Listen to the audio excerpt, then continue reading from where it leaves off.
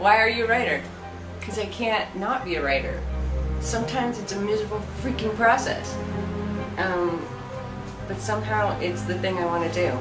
I never liked people, and with and so when writing, I could just I could sit my sit by myself and write stories about and create people that I did like. I like to write a series of characters, either in one story or several stories that I know and like, and who can become part of my sort of.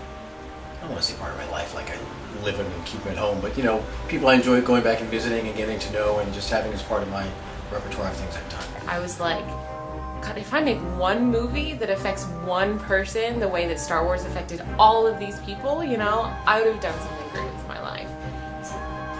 And from that moment, you know, everything just clicked into place, and I'm like, guess I'm a filmmaker. That's awesome. admittedly, you know, living the cliche of being a foreigner coming to, to Hollywood to, to make it in the entertainment industry, but like, fuck it. I'm, it's fuck what that. it's what I want to do, and I decided I was going to stop listening to what other people thought I should be doing, uh, and start doing what I wanted to do.